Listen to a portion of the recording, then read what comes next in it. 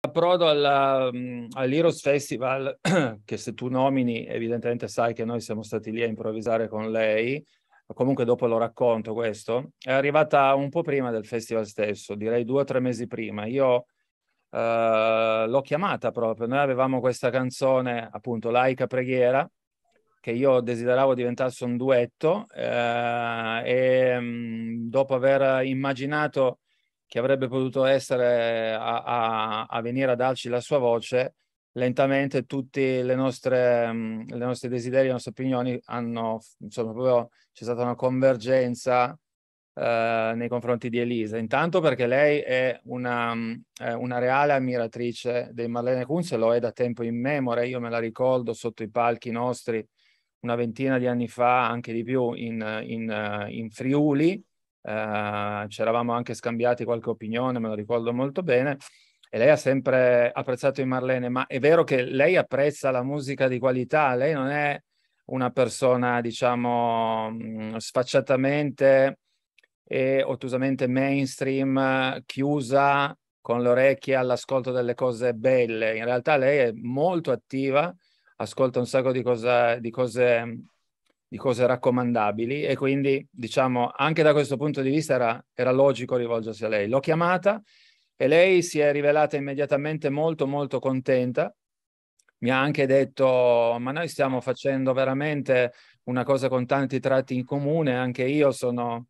realmente e genuinamente impegnata sul tema del riscaldamento climatico, quest'estate farò tutta una serie di cose ed è lì che mi ha nominato l'Heroes Festival di Verona. Noi avevamo un, un vago sentore che lei eh, se ne occupava, di, eh, sapeva, quindi lì ho capito che lei era realmente la direttrice artistica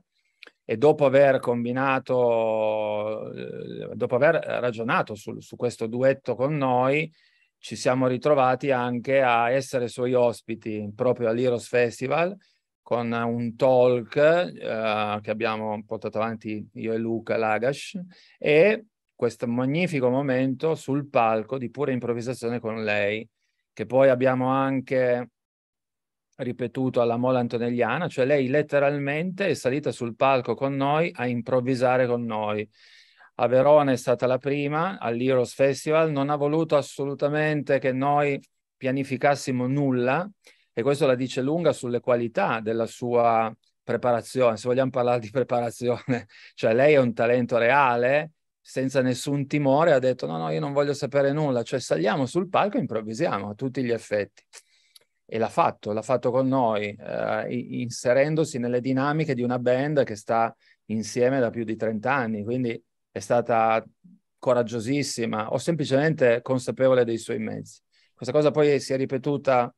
alla mole antonelliana e, e ci auguriamo di poterla ripetere ancora. Sarebbe veramente una grande opportunità poter portare in giro questo spettacolo fatto di musica che fluisce liberamente e che non è mai uguale a se stessa evento dopo evento. Questo tour nei club è, è un club, è, è un tour dove ci siamo decisi a non ancora smascherare il potenziale vero insito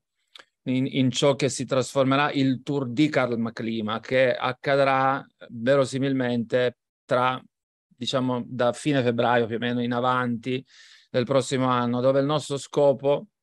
è proprio quello di andare a suonare nei teatri. Questo disco nei teatri eh, funzionerà meglio perché ha tutte le caratteristiche per, per essere accolto in una situazione così sacra di ascolto uh, intimo e raccolto. Quindi questo tour qua è ancora un tour dove Marlene fanno i Marlene uh, con, con, molti ingredienti rock e inseriscono qualche pezzo del disco nuovo. Esatto. È, evidente che questo disco deve essere assimilato e fra un anno la gente comincerà a volere in scaletta molti pezzi di Karma Clima. Queste sono dinamiche standard tipiche uh, di sempre. In più, però, ripeto, siccome questo disco per noi è, una, è, è nel solco di una, dimarca, di una demarcazione ben precisa, perché c'è qualcosa di nuovo nell'aria e siamo determinati realmente ad andare in questa direzione, allora eh, è opportuno che si strutturi poi un disco che questa volontà la manifesti nel miglior modo possibile. Quindi tour nei club rock alla Marlene con ingredienti nuovi del disco e tour nei teatri nel, nella prossima stagione con una presenza più cospicua del nuovo sound uh, dei Marlene. Che questo chiaramente desidero sottolineare,